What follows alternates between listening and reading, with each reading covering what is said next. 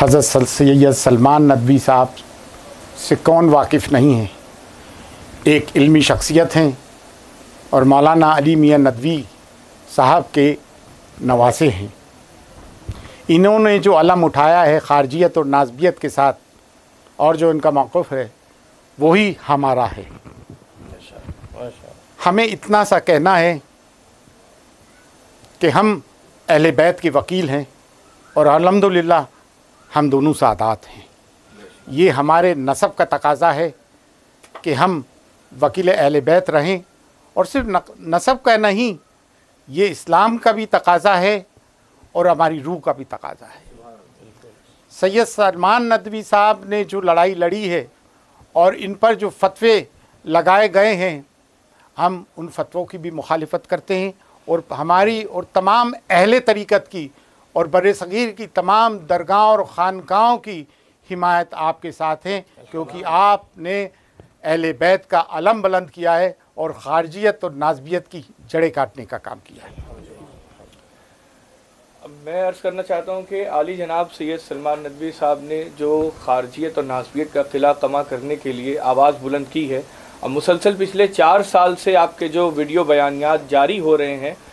उससे एक हंगामा एक पेट में मरोड़ पैदा कर देने वाला आ, आ, जो है माहौल पैदा हो गया है नासबियत के अंदर।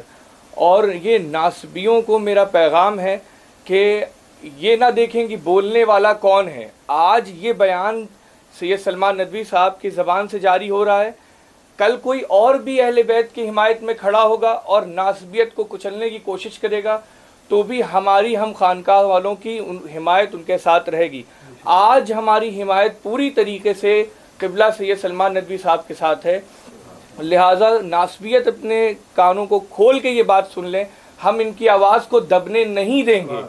हम ज़र्रा बराबर दबने नहीं देंगे और अहल बैत के हिमायत में उठने वाली आवाज़ को हम हमेशा उसके साथ खड़े रहेंगे, शाना बाशाना खड़े रहेंगे और नासबियत का फन हम कुचल के रहेंगे इन लिहाजा हम आगे जितनी भी बातें जो हमसे हो सकेगा बन पड़ेगा ज़बान से कलम से हर तरह से हिमायत हमारी किबला सैद सलमान नदी साहब के साथ है और आगे भी हम इस तरह की हिमायत पहुँचाते रहेंगे।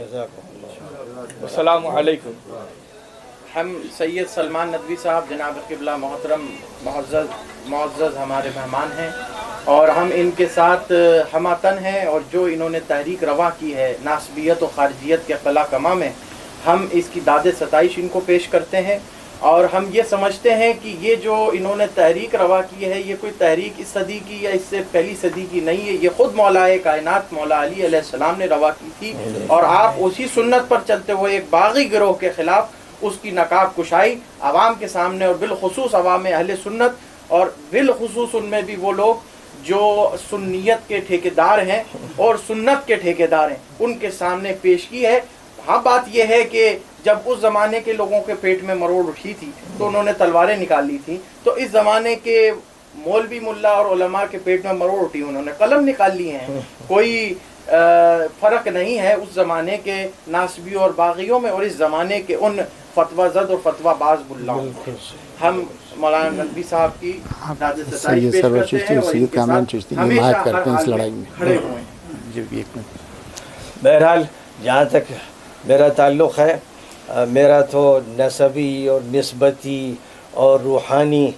ताल्लुक़ हज़रत ख्वाजा सैयद मुनुद्दीन चिश्ती हुसैनी रहमत से है, हज़रत निज़ामुद्दीन अलिया से है, हज़रत ख्वाजा बख्तियार काकी से है और इस मुल्क में जितने भी सूफिया कराम रहे हैं और ख़ास तौर पर अहल बैत में से जिनका ताल्लुक़ है और जिन्होंने हमेशा उनकी नुसरत और हिमायत की है और आज ये विरासत और ये दौलत हज़रत सरवर चिश्ती साहब, दामद बरक़ातूम को मिली है, अल्लाह की तरफ़ से ये दौलत मिली है और हमारे भाई अज़ीज़ कामरान भाई को ये दौलत मिली है।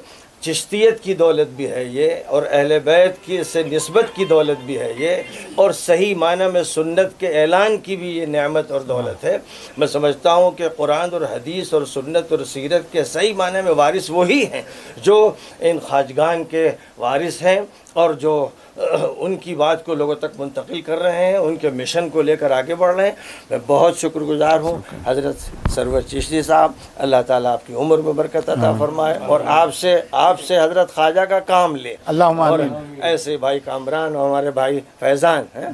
जी सही फैज़ान माशाल्लाह। सब हजरात का मैं शुक्रगुजार हूँ और इन हम लोग जिनका ताल्लुक़ खानकाहों से है, दरगाहों से है और सही माना में सुन्नत से है और नबी पाक अलैहिस्सलाम से है और आल बैत से है और जो सहाबा हजूर पाक अलैहिस्सलाम की ज़बान मुबारक से, असहाब मनाकब और फ़ज़ाइल थे, उनसे है। तो हम इस मिशन को लेकर आगे बढ़ेंगे। और आपकी इस्ताईस से उम्मीद है कि उम्मत का बड़ा तबका इंशाल्लाह इस हक़ को पहचानेगा। आमीन। मैं आखिर में ये अर्ज़ करना चाहता हूँ कि आज देखिए इतिहाद हमारी ज़रूरत है। अगर आप इतिहाद को अहमियत नहीं देंगे मुतहद नहीं होंगे हम कभी भी सरफराज नहीं हो सकते।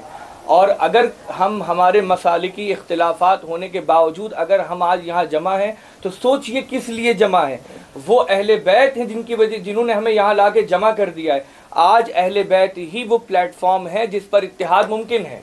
और लिहाजा मैं आखिर में ये अर्ज़ करना चाहता हूँ कि ये जो बयान दिया जा रहा है कि ये अहले सुन्नत का मौक़ नहीं है जो हज़रत क़िबला सैद सलमान चिश्ती नदवी साहब का मौक़ है ये अहले अहले सुन्नत का मौक़ नहीं है तो उम्मत को ये धोखा ना दें। आप देवबंद कहें तो हम देवबंद आएँगे आप नदवा कहें तो हम नदवा आएँगे। कुरान की और हदीस की नसूस से इस बात को साबित करेंगे कि ये अहल सुन्नत का यही मौक़ है। आप जिसे मजहबी अहल सुन्नत कहते हैं वो ओलमा की अपनी राय है और ओलमा की राय से इख्तिलाफ किया जा सकता है और जिन साहिबान की राय से इख्तिलाफ हो सकता है वो दीन में हुज्जत नहीं होते हैं। लिहाजा आप उम्मत को धोखा देना बंद करिए और सामने आके सच बात कहिए नहीं कह सकते तो चुपचाप बैठ जाइए। वरना जहाँ कहेंगे हम आके वहाँ वहाँ दंदान शिकन जवाब देंगे। अस्सलाम वालेकुम वाह